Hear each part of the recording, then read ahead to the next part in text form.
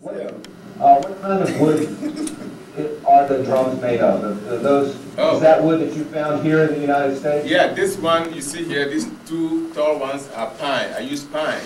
And it's Pine? Oh. Pine, yeah. I use pine to build these two here. You hollow out those huge logs? Yeah, we hollow them, yeah. You have to hollow them before you can get a sound. All drums, you see, all the drums, we we need to hollow them. And the, the way we hollow them uh, give, produce the sound. So the, the, the, the hole that we make must be a specific uh, uh, size that before you can get a specific sound you're looking for. And then the shape outside also, that counts. So you can see this drum is round, this one is really round.